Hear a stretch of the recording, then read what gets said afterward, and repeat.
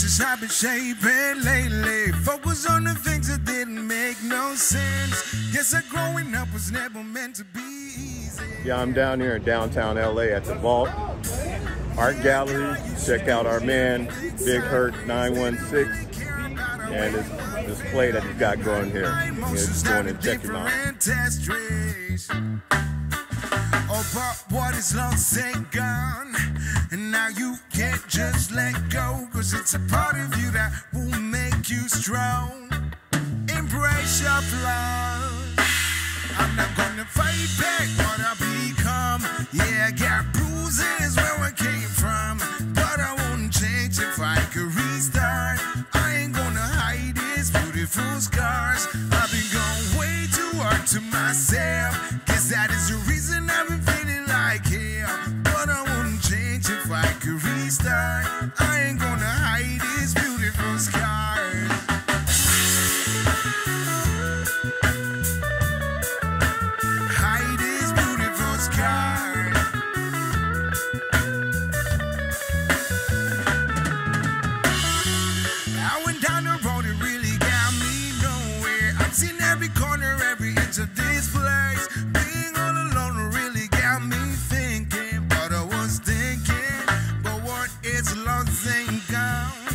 Now you can't just let go, cause it's a part of you that will make you strong.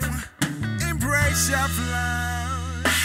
I'm not gonna fight back what I become. Yeah, I got bruises where I came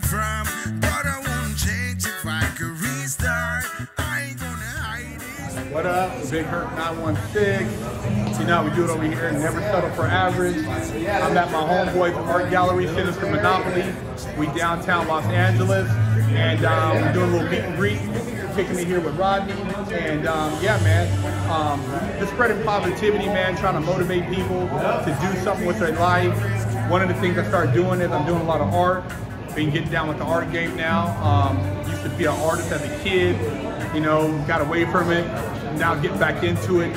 It's allowing me to kind of get a peace of mind, to elevate myself and really find purpose. In addition to that, um, still doing um, the, the podcast Fresh Out. Been doing men's panels, you know, helping other men uh, elevate conversations, sharing conversations, grow, and um, just doing my thing, man. You can check me out at bigperson916.com. Got a lot of merch and stuff on there. And I also just dropped my autobiography, Against All Odds, my life story. And um, yeah, man, just really trying to uh, put a good word out there, man, so people could uh, get something positive back in the world that's full of a lot of negative energy right now.